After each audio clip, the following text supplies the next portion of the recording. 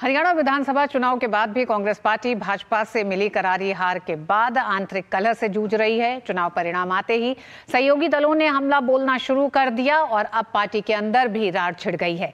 हार के कारणों पर चर्चा के लिए पार्टी की केंद्रीय नेतृत्व ने राष्ट्रीय अध्यक्ष मल्लिकार्जुन खड़गे के आवास पर बैठक की। तो प्रमुख चेहरे ही गायब रहे पार्टी ने। हरियाणा चुनाव में जिस पर भरोसा करके हर बात मानी, वही भूपेंद्र सिंह हुड्डा मीटिंग में नहीं पहुँचे। हरियाणा में हार, कांग्रेस में रार। नतीजों के बाद मुश्किल में कांग्रेस। सहयोगी दलों ने दिखाए तेवर। अपनों ने भी अपनाए बागी तेवर। आरोप प्रत्यारोप का दौर शुरू। हरियाणा चुनाव के नतीजे कई मायनों में खास हैं।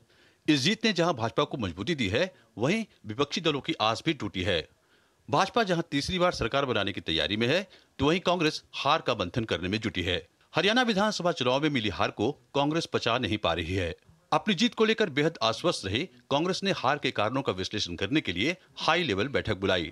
इस दौरान कांग्रेस अध्यक्ष मल्लिकार्जुन खड़गे और लोकसभा में नेता प्रतिपक्ष राहुल गांधी ने वरिष्ठ पर्यवेक्षकों और प्रभारियों के साथ समीक्षा बैठक की। इस दौरान चुनाव में हार के लिए कांग्रेस ने एक फैक्ट फाइंडिंग कमेटी बनाने का फैसला किया, लेकिन इस बैठक में प्रमुख चेहरे ही नदारद रहे। पार्टी ने हरियाणा चुनाव में जिस पर भरोसा किया, वही भूपेंद्र सिंह हुड्डा मीटिंग में नहीं पहुँचे। प्रदेश अध्यक्ष उदय भान ने भी बैठक से दूरी बना ली। इस पर राहुल गांधी की नाराज़गी ज़ाहिर है। सूत्रों के मुताबिक राहुल गांधी ने कहा कि लोगों ने निजी हित को पार्टी हित से ऊपर रखा। हरियाणा विधानसभा चुनाव में कांग्रेस की हार पर आखिरकार राहुल गांधी ने प्रतिक्रिया दी है। उनका यह भी कहना है कि वहाँ के नेताओं का पर्सनल इंटरेस्ट पार्टी के इंटरेस्ट से बड़ा रहा इसी वजह से हरियाणा में कांग्रेस की हार हुई। जो नतीजे आए उसमें ज़मीन और आसमान का फ़र्क था।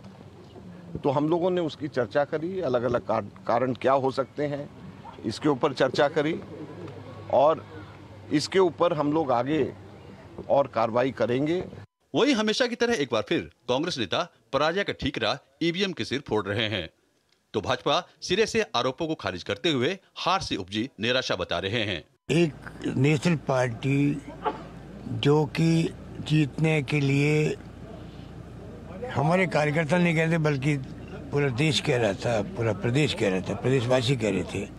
तो क्या कारणों का अचानक की परिणाम उठे आ गए तो कई कई तरह की आशंकाएँ हमारे कार्यकर्ताओं के दिलो, दिमाग के अंदर छाई हुई है। आम लोगों के भी दिमाग छाई हुई है, चाहे ईवीएम हो, चाहे कैसी भी स्थिति बनी हो।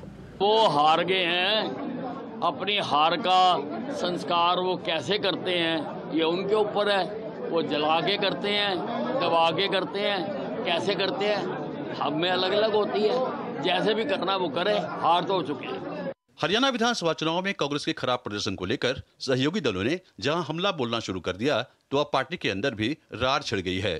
हरियाणा के अंबाला कैंट सीट से कांग्रेस प्रत्याशी परविंदर पाल परी अपनी हार का ठीकरा पार्टी पर ही फोड़ रहे हैं। वहीं कांग्रेस ओबीसी सेल के राष्ट्रीय चेयरमैन और पूर्व मंत्री कैप्टन अजय सिंह यादव ने भी तल्ख तिवर दिखाते हुए हरियाणा की कई सीटों पर पार्टी के खराब प्रदर्शन को लेकर आत्मचिंतन करने की ज़रूरत बताते हुए अपने ओबीसी अध्यक्ष पद को धोखा और झुंझुना बताया। मैंने ये बोला है कि जो मुझे चेयरमैन का पद दिया गया है वो एक झुंझुना है एक आई वॉश है। बड़े बड़े जो पोस्टर लगाए गए पार्टी की तरफ़ से उसमें आ, मैं राष्ट्रीय चेयरमैन होने के बावजूद भी मेरी फ़ोटो नदारत थी तो उसका क्या मैसेज आता है जनता में?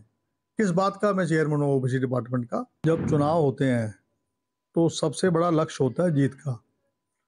और उस वक्त अगर जब मुख्यमंत्री की टसल की अगर बातें मीडिया में आती हैं तो पार्टी के लिए कोई एक अच्छे संकेत नहीं है। देखो तो चुनाव हारना और चुनाव हराना दोनों में फ़र्क आता है। पुरिंदर सिंह परी को चुनाव हराया गया है। पार्टी ने ही एक बागी उम्मीदवार खड़ा करके और पूरे षडयंत्र के तौर पे चुनाव हराने की कोशिश भी करी और वो, वो उनकी मंशा पूरी भी उन्होंने चुनाव हराया गया। हरियाणा चुनाव में कांग्रेस की हार के बाद जहाँ सहयोगी दल कांग्रेस की गलतियाँ गिनाते हुए कोस रहे हैं उससे इंडी गठबंधन के बीच खटास आती दिख रही है जिससे आगामी विधानसभा चुनाव में राजनीतिक समीकरणों में परिवर्तन की संभावना बढ़ गई है। वहीं कांग्रेस पार्टी अंदर के अंतर कलह से भी जूझ रही है। कुमार आलोक के साथ ब्यूरो रिपोर्ट।